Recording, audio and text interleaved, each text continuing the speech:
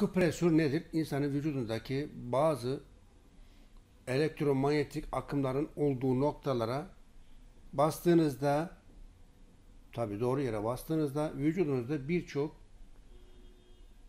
elektromanyetik akımları düzenler. Akupresür. Mesela beyninizi boşaltmak yani boşalmaz da beyin lüzumsuz şeyleri raflara yerleştirmek için, resetlemek için şu noktaya şöyle basıyorsunuz. 2 nokta, 2 dakika. Gözleriniz ağrıyorsa şu iki, şuraya basıyorsunuz.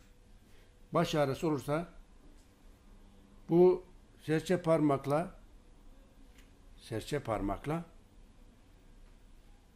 yüksek parmağının az ilerisinde şu boş noktaya basıyorsunuz. 2 dakika baş ağrısı için. Ve en önemlisi de elinizin şu noktasına yani baş parmakla işaret parmağının olduğu şu noktaya hafifçe basıyorsunuz. Şöyle. Şu noktaya. İki dakika basıyorsunuz. Ne işe yarıyor? Evet bu çok çok önemli. Şöyle resmini göstereyim. Tam bu kırmızı noktaya. 2 dakika, günde 3-4 defa yapabilirsiniz. Evet, bu nokta çok önemli. Böyle bastığınızda yatmadan önce, sabah kalkınca, çok stresli olduğunuz zaman böyle 2 dakika bastığınızda ne oluyor? Bağırsaklardaki bağışıklık sistemini harekete geçiriyor. T hücresi, B hücresi, makrofaj yoğun şekilde interferon salgılıyor. Alfa, beta, gamma interferon. T hücresi, B hücresi ve diğer hücreler üç çeşit interferon. Interferon nedir? Özel bir protein. Ne işe yarar? Hücre içerisinde yerleşmiş olan virüslerin DNA'sını bozuyor. Onu yok ediyor. Hücre dışındaki bakteri, virüs ve mantarları öldürüyor. Interferonu 1950 yılında iki Japon ilim adamı keşfetmiştir. O günden bugüne kadar AIDS hastalarında, kanser hastalarında, lösemi kan kanseri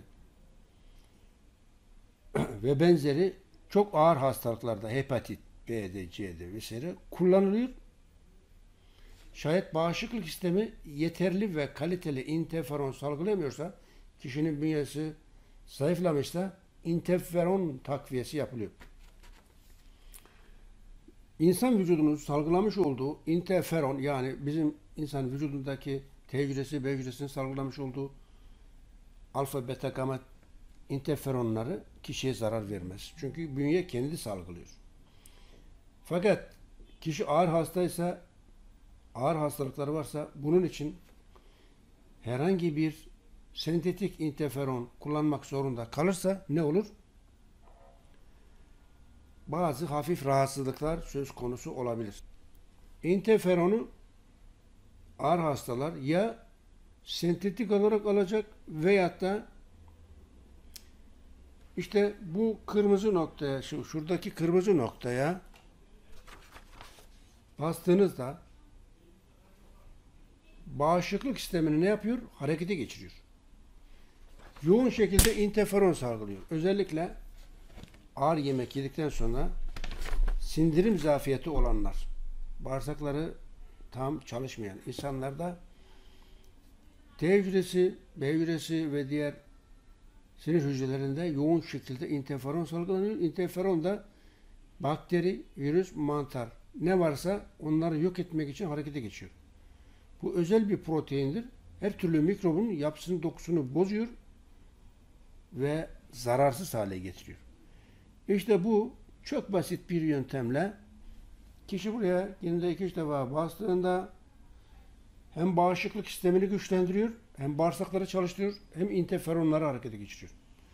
Bununla ilgili bitkisel tedavi.net'te çok detaylı bilgi verdim. İsteyen bakabilir.